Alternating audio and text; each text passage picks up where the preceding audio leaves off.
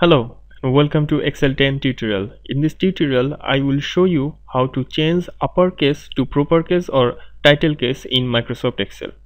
By proper case or title case I mean you will get every letter in your text in lowercase except the first one in every word. For example take a look at here this text it is in uppercase see every letter is in uppercase and this one is proper case only the first letter of every word is in uppercase okay? For this tutorial I am using Microsoft Excel 2010 let's get started. To change uppercase to proper case you need to write a formula which is very simple. Click on the next empty cell and write equal to P R O per proper and parenthesis.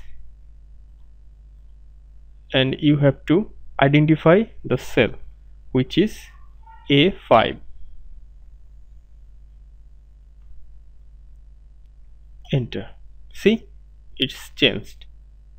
Here it is uppercase and now here it is proper case now drag the formula and you see all of them has changed to proper case. That's it. You have successfully changed uppercase to proper case in Microsoft Excel 2010. If this video was helpful, then give it a thumbs up. If you need this Excel tutorial in PDF, have a look at the description for the link.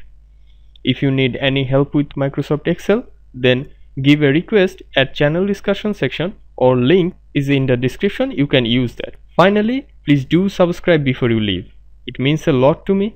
This is Kazi signing out from Excel 10 tutorial. Thank you.